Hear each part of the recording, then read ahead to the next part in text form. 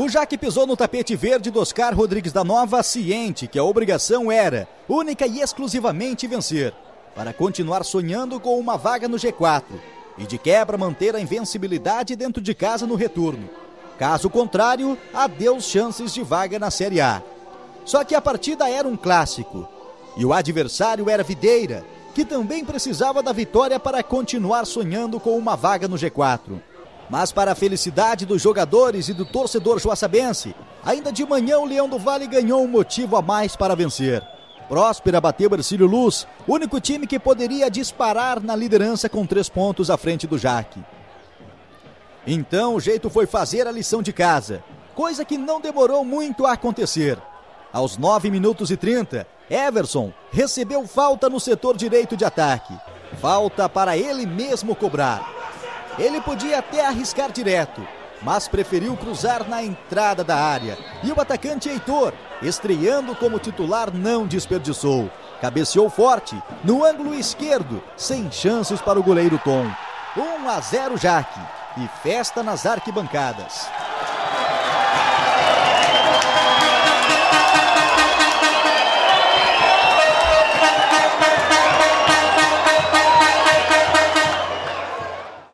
O destaque negativo da partida ficou por conta das inúmeras lesões que começaram cedo.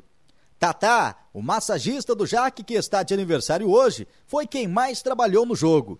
Correu uma meia maratona. Era só um jogador cair que lá estava o incansável Tatá. Cinco jogadores tiveram problemas com lesões. Por conta das lesões, Osmar Magalhães foi obrigado a queimar as três alterações ainda no primeiro tempo. Mesmo assim, o Jaque chegou ao segundo gol, quase um replay do primeiro. Só que desta vez, quem cobrou foi Gil. Antes da cobrança, silêncio. Depois, êxtase. O gol foi do Marcelo. Jaque 2 a 0.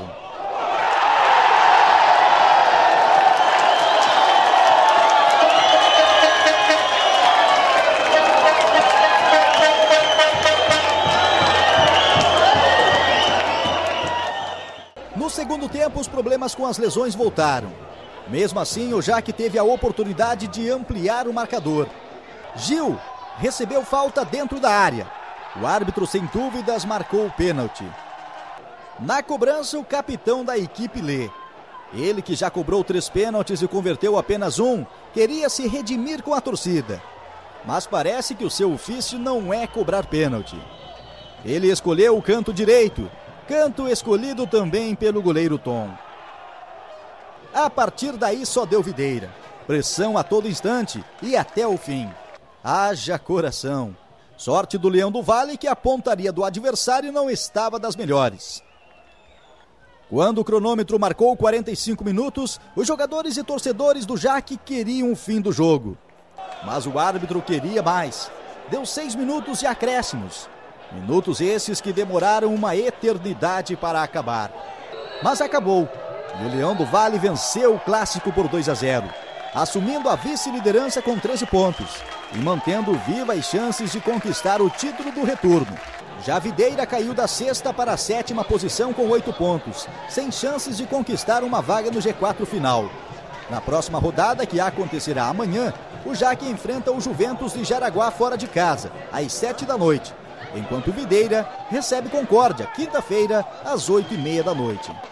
Uma equipe difícil, a do Videira, nos complicou bastante, mas tivemos a felicidade também de aquilo que nós treinamos durante a semana, que era a bola parada, é, que tem dado resultado não só, só aqui é, é para nós, mas para todas as outras equipes. É, fizemos dois, dois gols é, de cabeça, é, mantivemos o resultado. Claro que tivemos três baixas consideráveis, mas aqueles que entraram para suprir essas três baixas entraram bem. É, resolvemos a partida ainda no primeiro tempo, depois mantivemos o resultado. Eu acho que estamos de parabéns. Segundo tempo tivemos um pouquinho mais de dificuldade, mas o que vale, o que interessa agora para nós é os três pontos e a vice-liderança.